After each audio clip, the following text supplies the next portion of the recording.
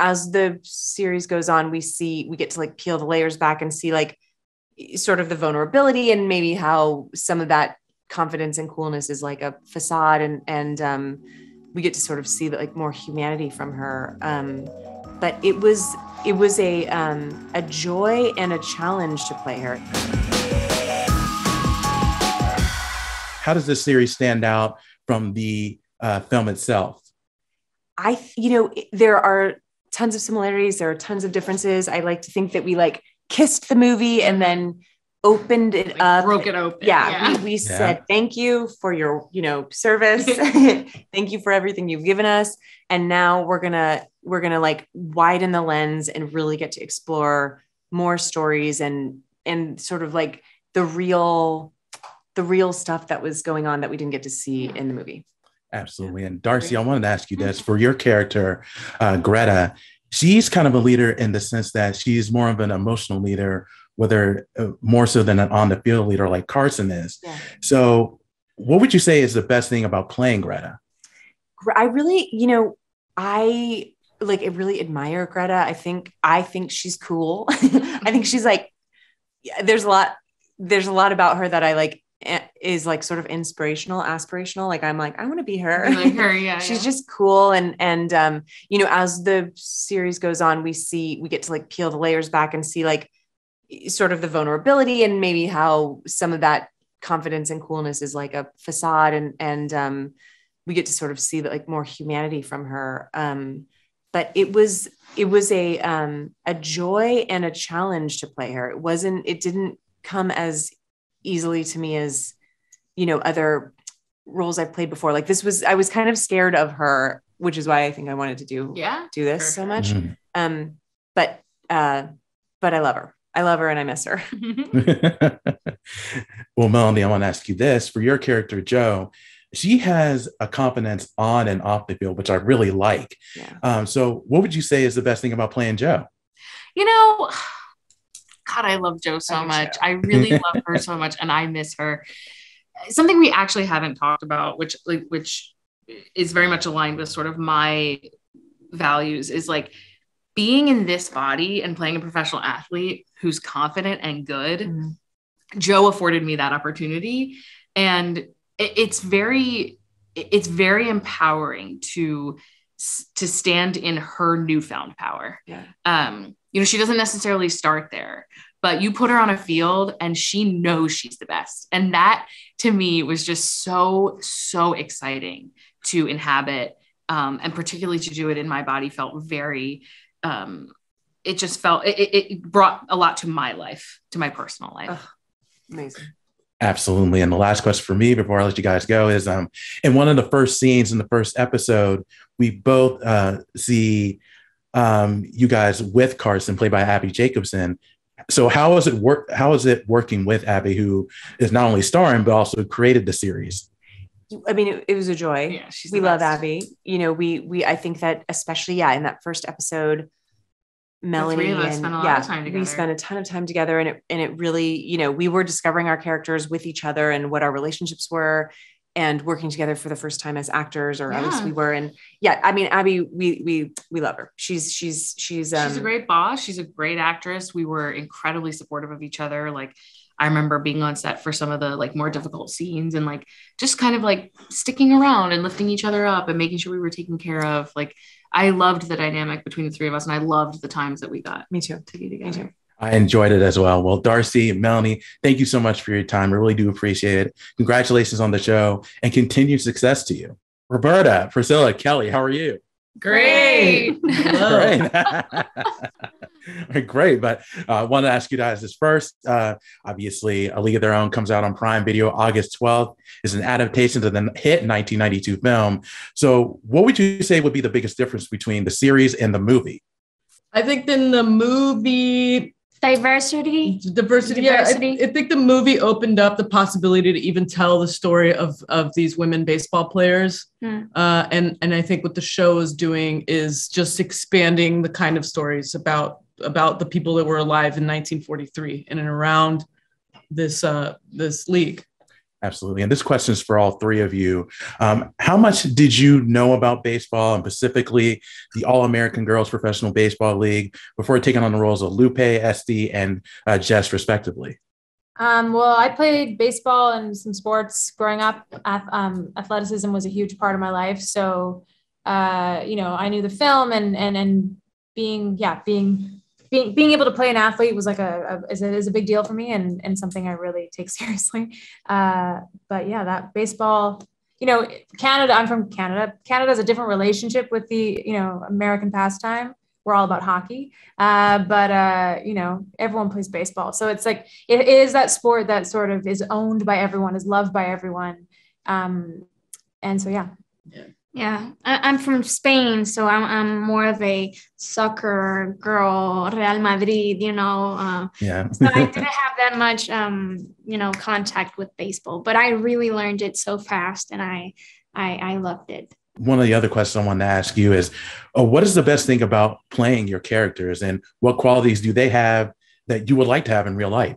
Ooh, um, I think the best part of playing the character for me is that we got to we each got to build the characters, and so for me it was one of the questions that Abbi and Will had asked early on was, and Desta was like, "Who's what are the characteristics of that you'd like to play?" You know, and I was just thinking of some of the you know things that I haven't gotten to do yet in my career, and playing this kind of complicated person that has this specific relationship to um, identity uh, it was really fun for me and and like cool and just it was freeing and and challenging in a lot of ways. Mm. Yeah.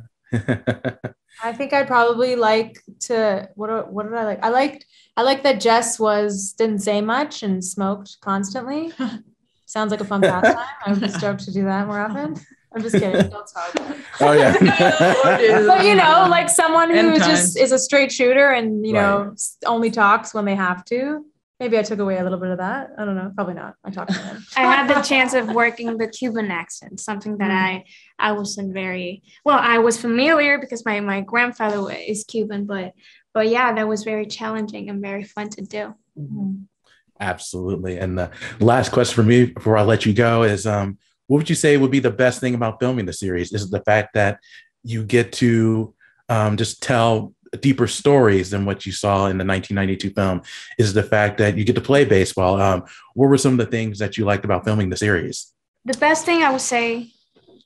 Hey, there you go. yep. No, but it's true. The relationships are are yeah. uh, hopefully like just uh, you know just come with. The, I mean, you can see them in the show. I think. Right and and i think that the relationships were just as important as like the stories that we were that we were privileged enough to be able to tell um mm-hmm. and which yeah. is ultimately what the, the league was just like a bunch of relationships yeah different new kinds of relationships for these women and and we get to expand that those you know? women really found found a a home yeah. when when yeah. they got into the league and that was like Narnia for them. It was it was it was the a whole place where they they they they really felt safe and yeah. in their place, and that's amazing. And that that's how we felt too. So, yeah. So yeah. Sure. Absolutely. Well, Roberta, Priscilla, Kelly, thank you so much for your time. I really do appreciate it. Congratulations on the show and thank continued you. success to you. A League of Their Own comes out on Prime Video August 12th, uh, based on the 1992 film um, were you fans of the film, and what would you consider the biggest difference between the ser- uh, the series and the movie? Was a fan of the film, uh, like like everyone.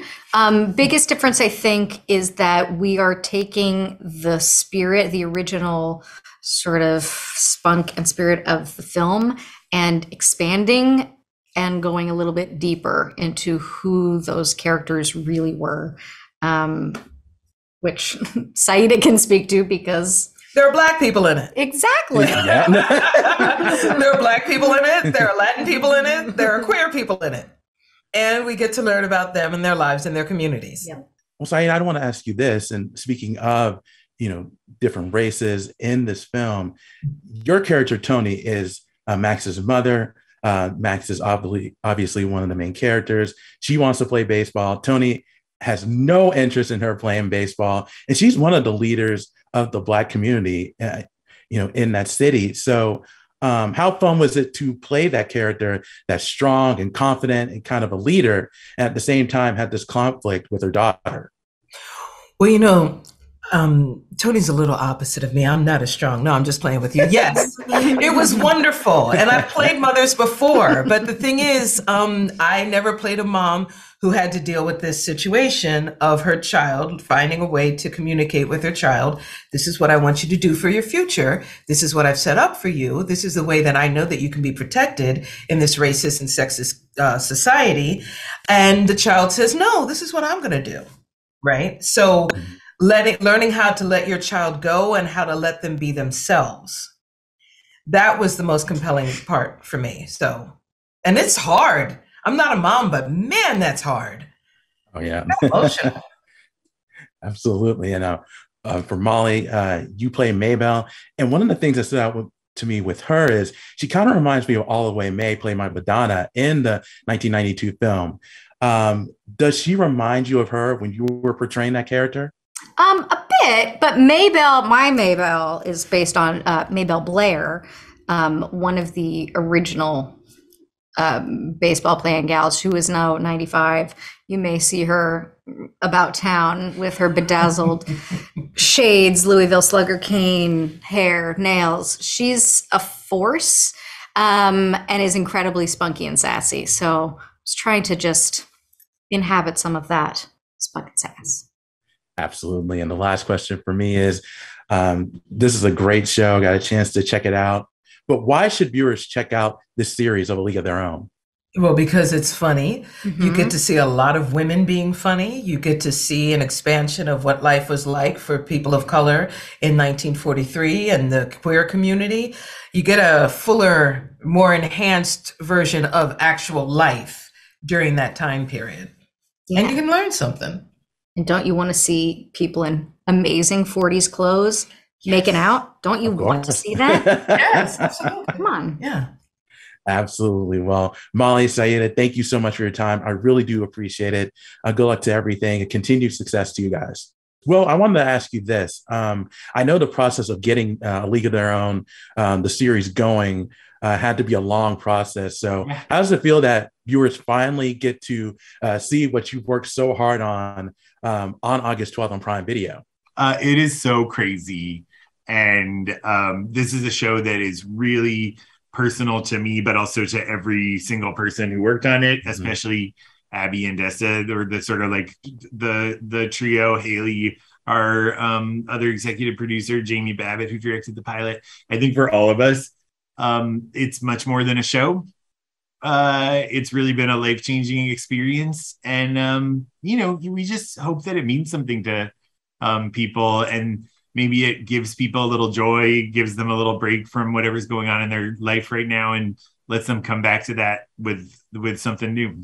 Absolutely, and that's I want to ask you this: uh, you worked on uh, you've been a producer and a writer on TV shows in the past, such as Shooter and The Purge.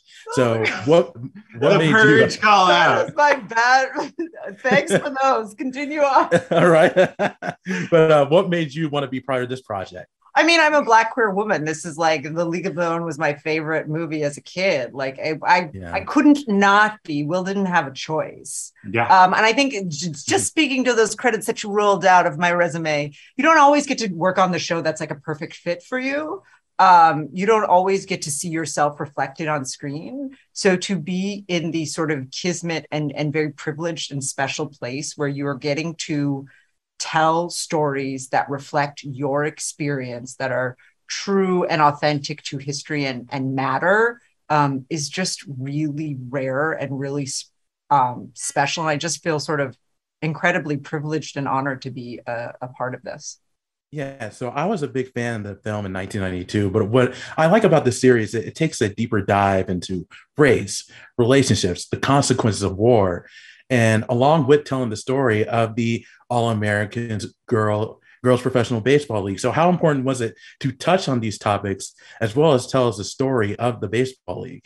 Well, I think that's the opportunity of a series. And I think our opportunity at sort of stepping into the show now, it's like all those things weren't things I feel like that we added to the show, like that we added to the story. They are the story, yeah. right? They, mm-hmm. that is the real story. And we got to step deeper into this world and these people at a time like where, where we have the war, at the time where like there's so much great baseball that includes black baseball, that includes black female baseball because right the same you know it's a two-hander show where we've got abby carson and the peaches and then you also have max and sort of all of black rockford and max trying to look for her shot so uh, I think just being able to step deeper into this world. Yeah. No, I mean, I think it's a it's a huge story that is really about a generation and it's fun and is an adventure that's also touching on a lot of real things about our society that are that are still true but i think a big thing we were conscious of and this comes from the movie is not making the obstacles the story right. like yeah there is sexism there's homophobia there's racism but this is a story about people who they had to do a lot, but they got to do the thing that they wanted to do and find their dream and touch real joy. And I think that's a story that we all need right now. You're absolutely right. And the last question for me before I let you guys go is I know there isn't any news on season two because the first season hasn't uh, begun streaming yet. But if the show does get another season, do you have an idea of what direction the show will go? Yeah, actually, we're in the middle of working, working on, on the story for season two right now. But I think the problem from the start, it's a good problem with this show, has been the moment that we started to look into these stories, it was just a clear lot. how much mm. there was. So we have uh, enough story for a lot of um, seasons of the show. And I think the show is going to go someplace that places that really surprise people but also entertain them and hopefully satisfy them too. Yeah i think more more emotion more depth more awesome baseball and more comedy. more yeah. comedy and sort of surprising twists and turns. Forward to that. Well well desta thank you so much for your time. I really do appreciate it. Again congratulations on the show and continued success to you